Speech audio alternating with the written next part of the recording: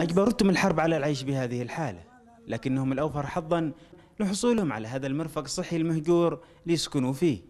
هكذا هو حال الشاب عبد العزيز وأفراد أسرته من أبناء قرية الهجر بمديرية عسيلان التي حولتها ميليشيا الحوثي والمخلوع صالح إلى ساحة للمواجهات.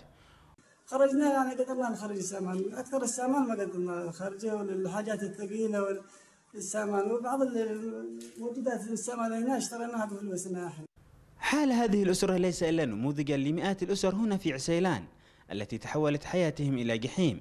ويشكو النازحون هنا من سوء الحال وتدهور أوضاعهم المعيشية بعد أن تركوا كل ممتلكاتهم عدا الشيء اليسير من الأثاث.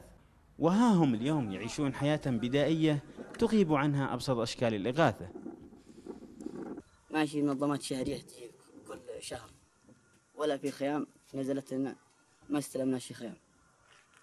شوف كيف السامان إحنا مع آثار ما قدرنا نضبط أنفسنا والدخيل النقلية ماشي.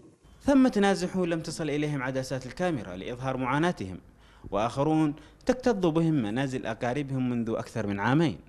رحلوا عن ديارهم مكرهين وباتت عودتهم إليها محفوفة بالمخاطر خصوصا وأن الميليشيا ما زالت مستمرة في تسطير أدوات الموت والدمار وتصر على إطالة أمد الحرب. إبراهيم حيدرة قناة بلقيس. شبوة.